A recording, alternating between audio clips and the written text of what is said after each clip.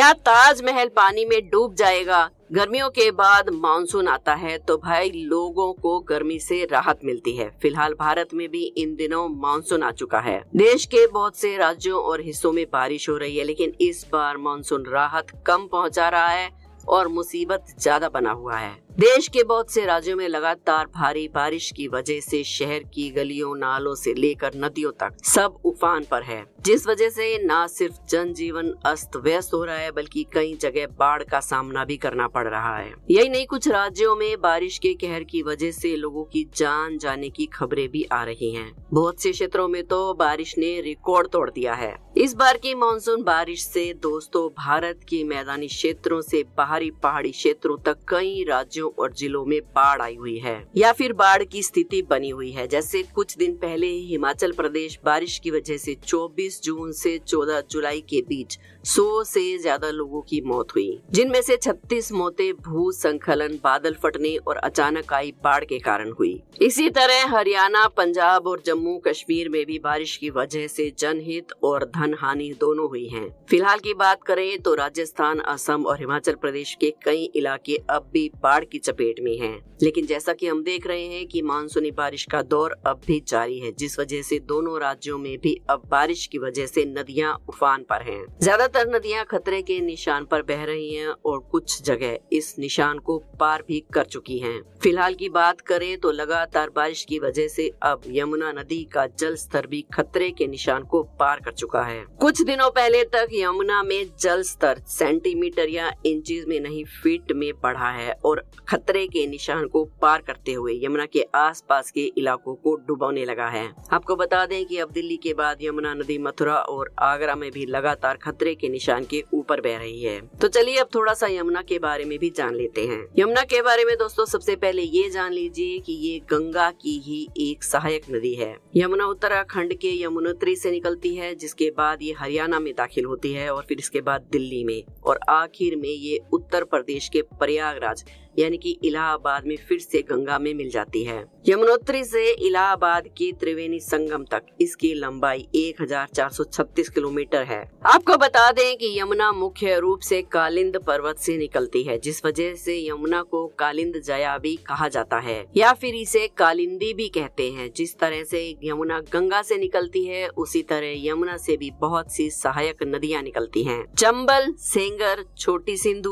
बेतवा और केन इसकी प्रमुख सहायक नदियों में से हैं। यमुना नदी कई बार बड़े शहरों से बहती हुई गुजरती है, जिसमें दिल्ली, मथुरा, आगरा, इटावा, कालपी, हमीरपुर और इलाहाबाद शामिल हैं। आपको बता दें कि यमुना की औसत गहराई 210 फीट, यानी कि तीन मीटर है, और इसकी मैक्सिमम डेप्थ की अगर बात करें तो वो 11 मीटर तक है लेकिन ये भी जान लीजिए कि दिल्ली में इसकी गहराई 50 मीटर तक है वहीं आगरा की बात करें तो आगरा में ये गहराई सिर्फ़ एक मीटर है अब बात करते हैं दोस्तों यमुना में बढ़ रहे जल स्तर की कि किस वजह से कौन कौन से जिलों या इलाकों में खतरा आएगा। सबसे पहले तो आपको बता दें कि लगातार बारिश की वजह से यमुना का जो जल स्तर बढ़ रहा है, उसकी वजह से पिछले कई दिनों में दिल्ली, गुड़गांव और एनसीआर के कई इलाकों में जल भराव की समस्या पैदा हो गई है। तो एक बार फिर से बहुत से इलाकों में लगातार बारिश की वजह से परिस्थितियाँ बिगड़ने लगी हैं।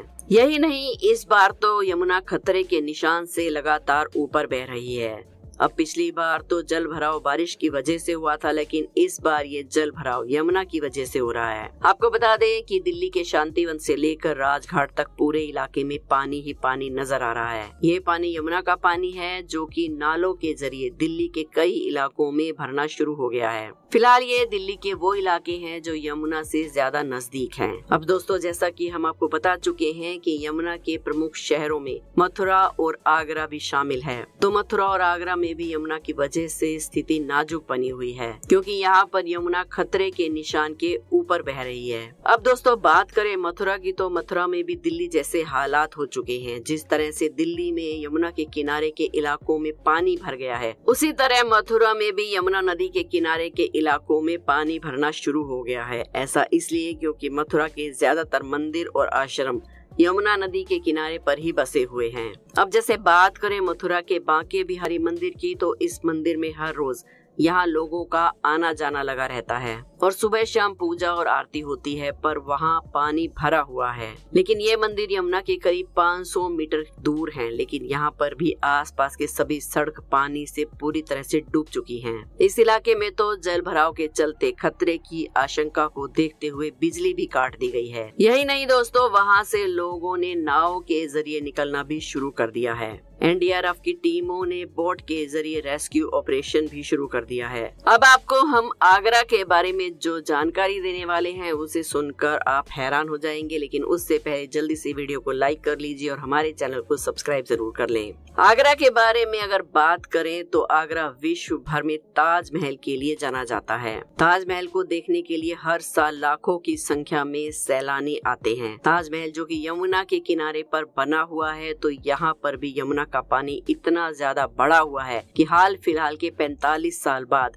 यमुना का पानी दशहरा घाट पर ताजमहल की दीवारों से टकराना शुरू हो गया है। यमुना के दशहरा घाट पर ही ताजमहल की पिछली बाउंड्री वॉल है, जो कि यमुना की तरफ़ लगती है। आपको बता दें कि इससे पहले ऐसा 1978 में हुआ था। जब यमुना में जल स्तर इतना बढ़ गया था कि यमुना ताजमहल की दीवारों को छूने लगी थी। वहीं ताजमहल के कुछ हिस्से, जो कि निचला हिस्सा है, वहाँ पर यमुना का पानी भर गया है। वहाँ पर जो मेहताब बाग ताजमहल के पीछे है, वो भी यमुना के पानी में डूबा हुआ है। आपको बता दें कि इस समय भी ताजमहल को देखने वालों का तांता कम नहीं हुआ है। अब भी लोगों की ताजमहल पर खास भीड़ है। इसी के बीच दोस्तों, जब यमुना के पानी का जल स्तर ताजमहल की पिछली दीवार को छू रहा है। तो यमुना के इस नज़ारे को बहुत से पर्यटक अपने कैमरे में कैद कर रहे हैं और बहुत से लोग इसके साथ सेल्फी ले रहे हैं। लेकिन सेल्फी वगैरह के चक्कर में किसी के साथ कोई हादसा न हो जाए, इसलिए ताजमहल के पिछले हिस्से पर बैरिकेटिंग कर दी गई है।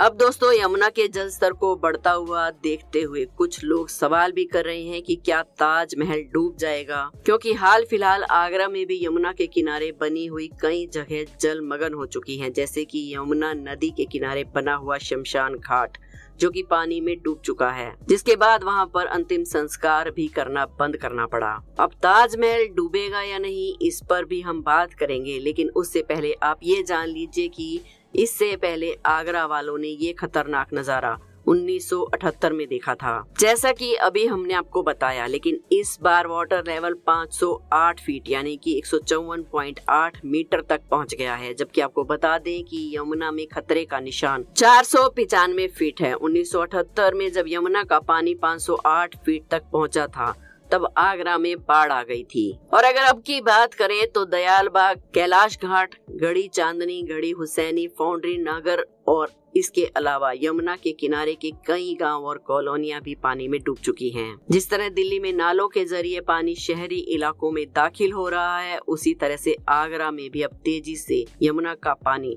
बहुत से इलाकों तक पहुँच रहा है। ऐसे में ये जानना भी ज़रूरी है कि आने वाले टाइम में जो हालात हैं वो कैसे होंगे। लेकिन मौसम विभाग के मुताबिक आने वाले दिनों में भी राहत की कोई उम्मीद नहीं है। इसलिए बारिश की वजह से हालत और भी ज़्यादा नाजुक हो सकते हैं। और अगर बात करें यमुना में जल स्तर बढ़ने की तो यमुना में पानी का लेवल और भी बढ़ने वाला है और इसकी वजह है यमुना पर बने बैरेज। यमुना पर कुल छह बैरेज बने हैं, जिनमें से मथुरा के गोकुल बैरेज से सोमवार को करीब एक लाख छियालीस हज़ार क्यूलेस पानी छोड़ा गया। वहीं दिल्ली के ओखला बैरेज से करीब सतासी हज़ार क्यूलेस पानी रिलीज़ किया गया। आपको क्या लगता है, क्या यमुना का पानी बढ़ने से ताजमहल को किसी तरह का कोई खतरा है? इसके बारे में आपकी क्या राय है? हमें कमेंट्स में ज़रूर बताएँ। वीडियो पसंद आई हो तो एक लाइक ज़रूर करें और चैनल को सब्सक्राइब करना ना भूलें।